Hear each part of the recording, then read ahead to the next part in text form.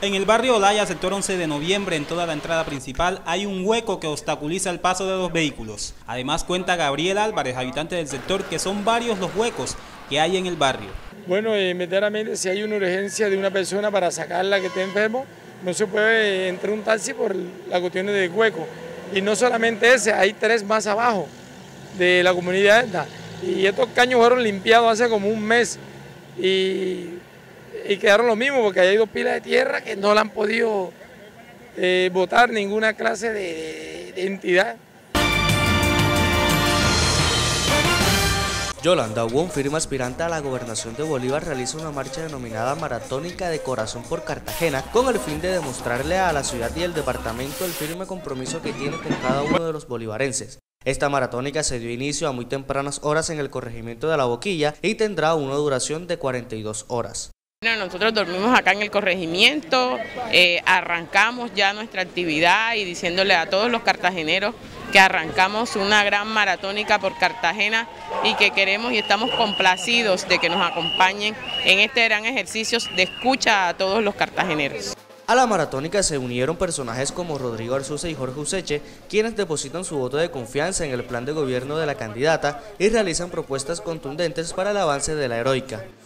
Yolanda Wong, la unión, primero, además de lo programático, la amistad y lo que todos los bolivarenses, cartageneros y creo que el país necesita es una mujer, una persona con un corazón noble, un corazón humilde, con un corazón siempre dispuesto a servir.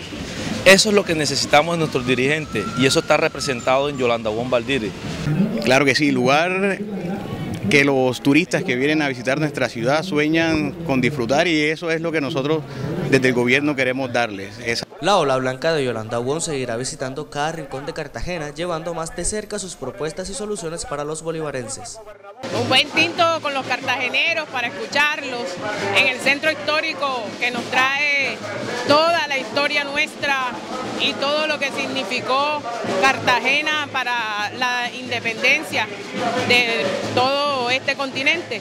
La maratónica de Corazón por Cartagena llegará a cada rincón de la ciudad, dando a conocer sus propuestas y deseos que serán implantados en su gobierno. La maratónica de Corazón por Cartagena tendrá fin mañana sábado 5 de septiembre con una visita a distintos lugares de total importancia en la ciudad. La Secretaría del Interior y los demás organismos de control que vigilan la transparencia en las elecciones realizaron el cuarto comité de seguimiento electoral, en el que se están tomando las medidas necesarias para que los candidatos a diferentes corporaciones públicas acaten las normas y reglas que rigen la contienda electoral.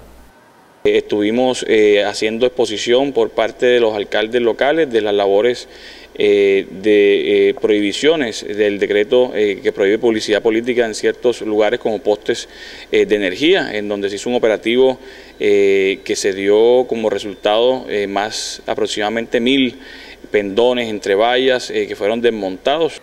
Los controles se realizan en todos los frentes. Es así como han impuesto más de 20 comparendos por parte del DAT a los vehículos que están cubiertos totalmente con propaganda política y minimizan su visibilidad.